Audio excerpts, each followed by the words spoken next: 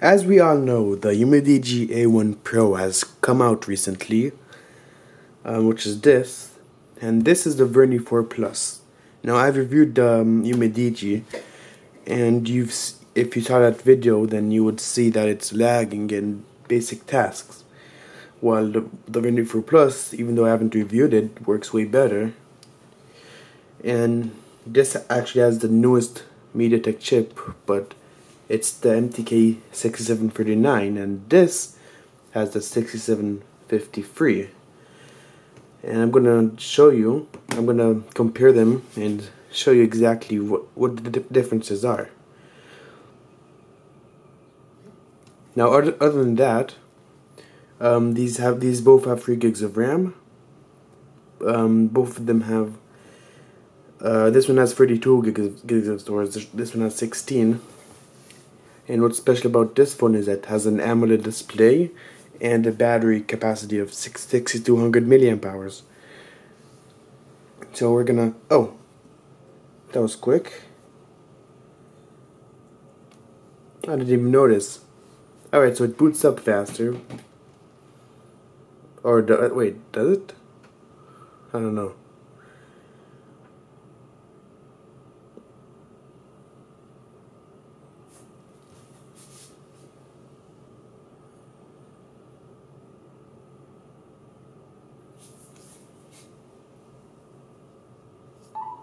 Alright, so they... That was a bit confusing, but as you can see, they boot up around the exact same time.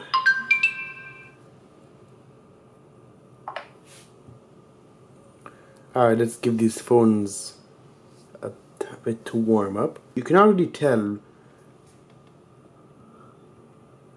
like right now, you can already tell that Vernee is performing better already.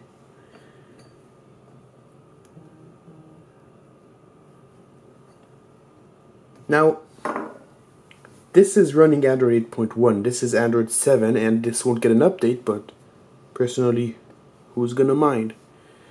Alright, I think these phones have warmed up enough. Alright, um, let's start opening some apps. Uh, as oh, okay, let's remove those. Okay, now, let's open 9gag.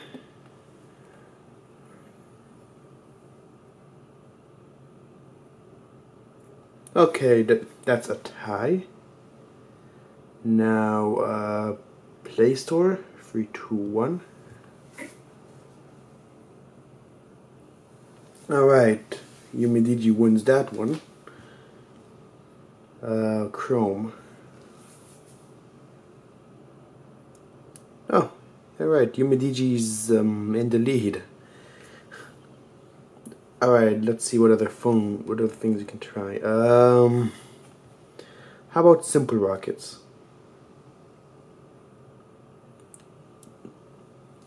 Okay.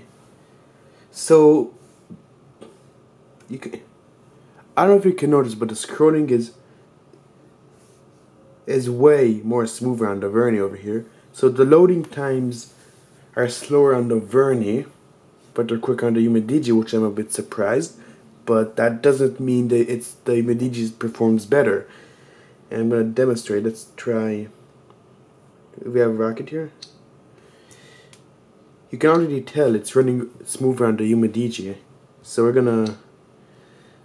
Um, oh shit, shit, it's fine. I don't know if you can see, but it's actually lagging. It was lagging a bit. There was a bit of frame rate drops and the Umidigi, I mean the, on the Vernee, even when like the smoke causes this game to lag, and you can see it's not lagging, it's running very smoothly.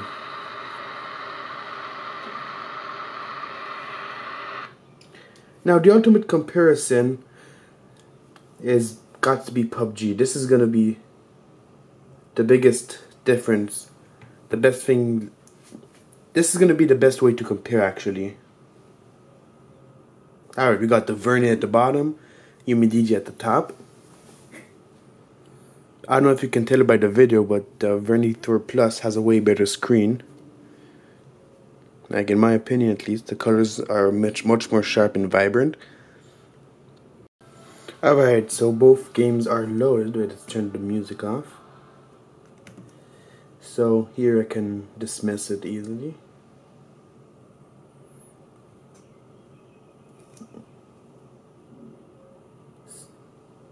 And we're already seeing the key differences. Like the phone is unusable. Like trying to do basic things like multitasking is, as you can see on the UMIDIGI, it's really bad. And you can't even see the character. But meanwhile, here I can still control everything fine on the Vernee 4 Plus. So it's much more stable. Meanwhile here, like on the bottom, like the Vernee, it's actually, it's the animations and, and stuff are running very smooth. But here it's it's a mess. The, the UMIDIGI is a mess. So let's try and start at the same time. Three, two, one. the loading times on the UMIDIGI are, are slightly quicker, yeah. But when it comes to performance, like the Vernee is just better because it has um, a more advanced chip. Which begs the question, why would these phones are around the same price? So why would UMIDIGI, why would MediaTek create a newer chip? Like here, oh, here it's actually quicker now. As you can see, it's running pretty good no problems, right? Like there, it's a bit lagging here. It's a bit lagging, but that's pretty normal to be honest. But it's playable. But when I switch to UMIDIGI, it's it's like a slideshow. It's not even you can't even play. Like oh now, even at at its best, it's just still it's still lagging. But when I switch to, it's much better. Like it's actually playable on the Vernee 4 Plus.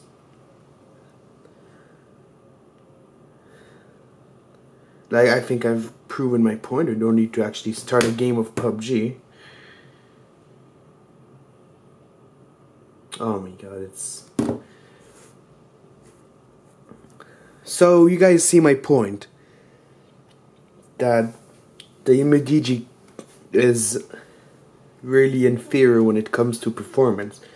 Now I'm going to test one more app that I like to test games on and let's see if I have it installed. Yep, here it is Knife Hit. And let's find it over here. Like the Vernee 4 Plus it's just much more pleasant to use. It's way more pleasant. I don't see that we have knife hit oh he, we do okay. 3 2 1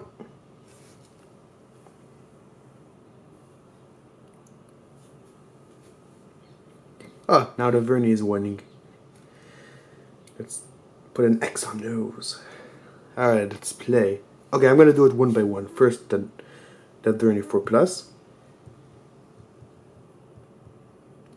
As you can see, it's running perfectly. Not lagging up, not lagging at all. Okay. Now the, the Medigi. And you can see it's, I don't know if you can notice that it's really, I mean it's not running awful, but you could see at the very beginning there were a bit of lag. Like right now it's fine, but But if you see my review, like at the very beginning, it has to warm up before you can actually play the, the game, which is ridiculous. Like, no one should have to do that. And keep in mind, both of these are budget phones. Both of them are at the same price range. The only difference is that that this they both have they, they have slightly different chips. So which shouldn't even cause this much of a difference. So this proves the MediaTek 6739 is a failure. It's not a good chip. And both of the and this phone came out almost a year ago, and it still holds up really well. Like I didn't have this one for a year personally, but it's it's still really pleasant to use and, I'm gonna show you how. Okay, now it's a bit better, but But when a phone comes preset to 0.5 animation speeds, you know it's bad. This phone came preset at 0.5. And like right now it's working fine. Like for basic tasks, like if you want to browse the web, it's gonna be this one's gonna be perfectly fine. So if you want, and this this one also has more features than the Vernee, to be fair. But if okay, I'm gonna put it this way. Me personally, I prefer the 4 Vernee 4 Plus over this phone. But what this one has that the Vernee 4 Plus doesn't have is um, Android 8.1, um, like face unlock. This has face unlock. This one doesn't. Um, what else can I? And this as has a bunch of other neat features. Like it's it's supposed supposed to at least. Uh, but if you don't care about the latest trendy features, then go for the Vernee 4 Plus. But if you care, if, you, if you're not a gamer, if you don't play any games at all, and use this phone for absolutely minimal things, then this is a good, good choice as well. I'm not saying the Umidigi is a bad phone. I'm just I'm just showing you how other phones compare. And these are very similar in terms of specs, but the only difference is the chip basically. And I'm just showing you like that's all I wanted to show basically. Um, how would these phones perform, and also the the fingerprint sensor. One's at the front, one's at the back. This is gonna be fun. Okay, three, two, one. Okay, I didn't do it correctly on the Vernee. Okay, three, two, one. Wait, something's going on. Okay, three, two, one. Yeah, that that's that it. That did it. I don't know what that was about, but this is a functioning fingerprint sensor.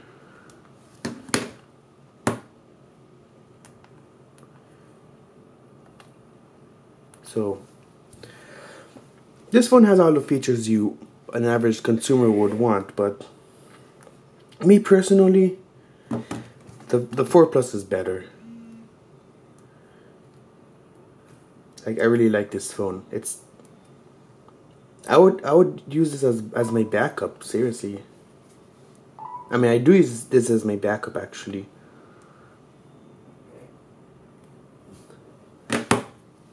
Um, so yeah, that's pretty much it. Um, I've shown you how they perform. If you can be the verdict, you can decide which phone you want to, to buy at the end.